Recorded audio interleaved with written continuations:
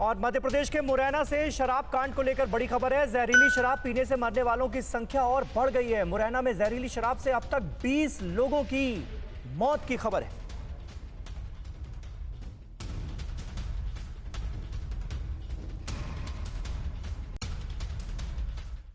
परवाह देश की। सोमवार से शुक्रवार रात 10 बजे टीवी 9 भारतवर्ष पर।